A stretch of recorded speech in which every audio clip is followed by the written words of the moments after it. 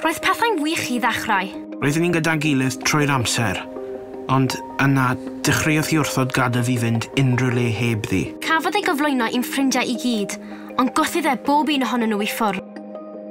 I ddechrau, ro'n i'n gallu ymdopi ar y negeseuon ar galwadau, ond yna, aeth pethau'n ormod. Anfonais i luniau preifat, ac yna ces wybod ei fod e wedi rannu nhw gyda'r grŵp.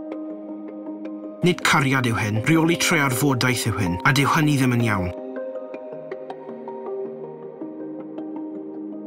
Ydych chi'n poeni y gallu eich plentyn chi neu berson ifanc rydych yn ei adnabod fod mewn perthynas realaethol?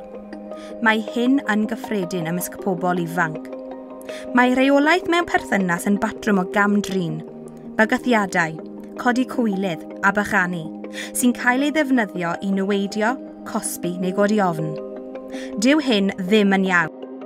Mae angen i ni ddechrau sgwrs am ymddygiad derbyniol mewn perthnasoedd a sicrhau bod pobl ifanc yn gwybod sut olwg sydd ar berthnasoedd iach ac afiach mewn gwirionedd.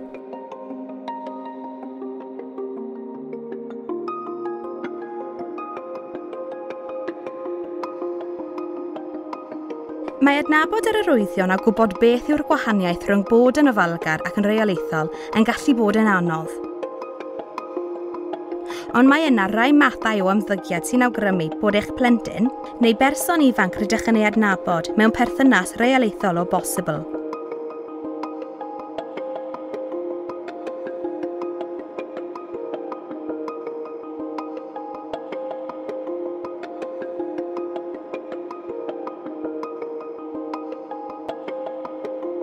Mae pobl ifanc yn dweud bod perthynas realaethol yn gwneud iddyn nhw deimlo dychryn cywilydd, yn ddiwerth, yn nerfus, yn bryderus, yn ofnus.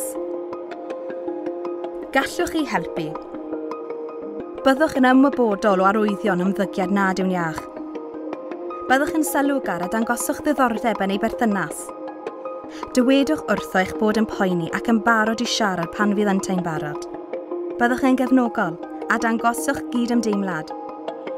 Peidiwch a beio na beirniadu Mae gadael perthynas gamdriniol yn gallu bod yn beryglus, felly peidiwch â gorfodi hynny. Dylech chi gynllunio gyda chymorth arbenigol.